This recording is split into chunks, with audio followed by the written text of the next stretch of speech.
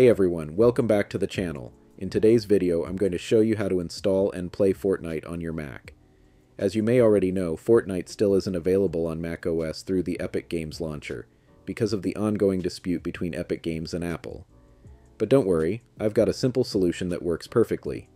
We'll be using GeForce Now, a cloud gaming service that lets you stream Fortnite right on your Mac.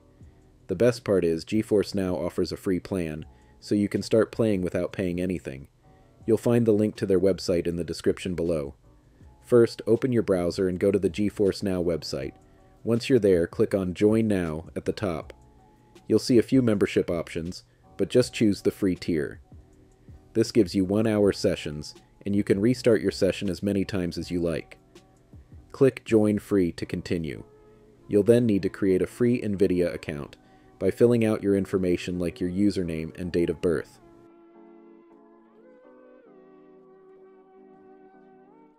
After that, click Play Now to move on. Once your account is ready, log into the GeForce Now website by clicking Get In and entering your login details. After logging in, you'll be taken to the homepage. From there, click on Download at the top. The website will automatically detect that you're on a Mac. Click Download for Mac and save the installer to your computer, usually in your Downloads folder. When the download finishes, open the installer and drag the GeForce Now icon into your Applications folder. After a few seconds, the installation will be complete. You can now close the installer, delete the downloaded file if you want, and eject it from your system.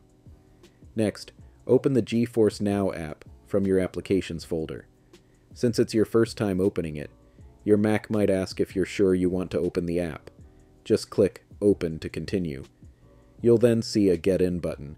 Click on it, and it will take you to your browser to log in with your NVIDIA account again.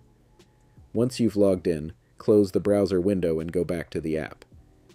Before you can play Fortnite, you need to link your Epic Games account to GeForce Now. To do this, click the Settings icon in the top left corner of the app and go to the Settings section. Under Connected Accounts, click Connect next to Epic Games.